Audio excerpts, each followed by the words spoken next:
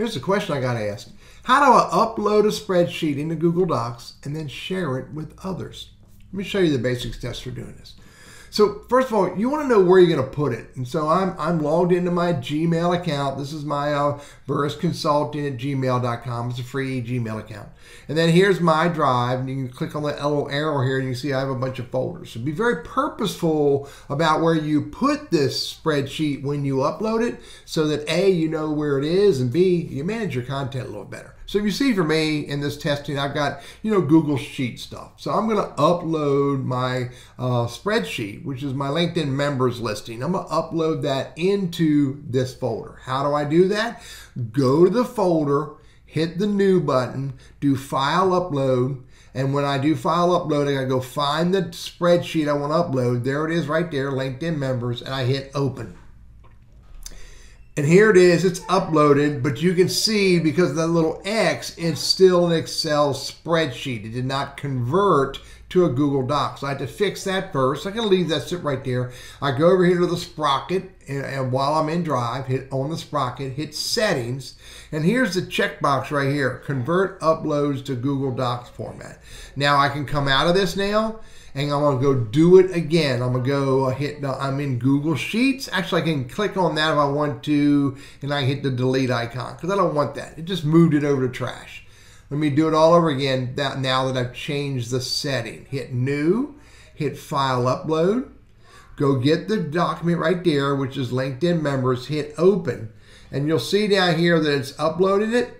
And now you can see it says LinkedIn members. It does not say LinkedIn members.xlsx.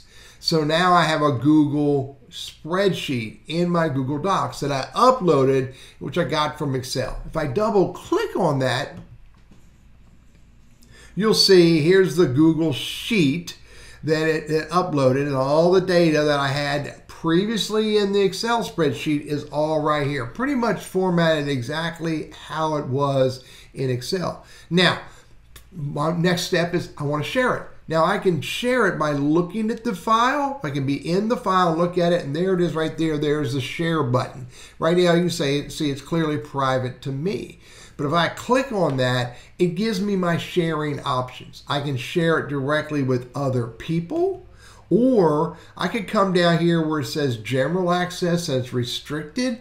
I can click on that and I can say anyone with the link can do what? Anyone with the link can view it, can comment on it, including view it, or be an editor of it. I'm not a fan of doing that. That's a little bit too risky.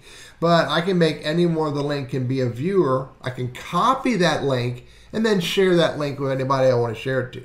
But if you want to be more purposeful about uh, sharing this, then I would go back and make it restricted.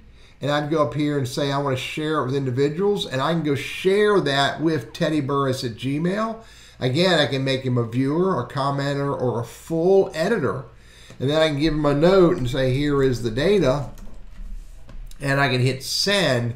And that's going to send Teddy Burriss at gmail.com an email to get access to this file. Let me show you what he's going to get. Now you can see I'm in right here, teddyburriss at gmail.com, and there's the email message that uh, uh, Burriss Consulting at Gmail sent him and said, here's the file you want, and you know, where's my text? There, here's the data. So he can go click on open and click on that to open or click here to open. It's going to open up in his Google Drive as a shared file. And because I made him an editor, he has the ability to do everything that he that I could do as the owner of the file, this person I shared it with as editor can do anything that I can do as well.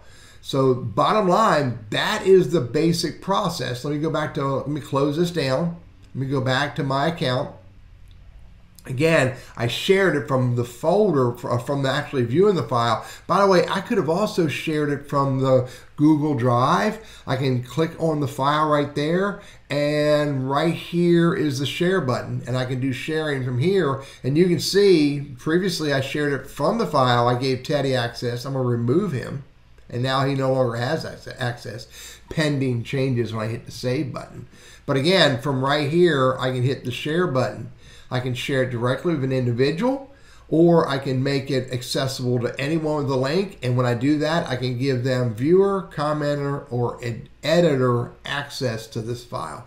But again, I, I offer this. Be very purposeful about making your documents that accessible. You may not want to make them that accessible, depending upon the the privacy or the confidentiality of those documents that are in Google Docs, whether they're a Google Sheet or Google Doc, a, a uh, Google Form, or a Google Slide. I'm Teddy, your Google Workspace and Gmail guy. I hope this is helpful for you.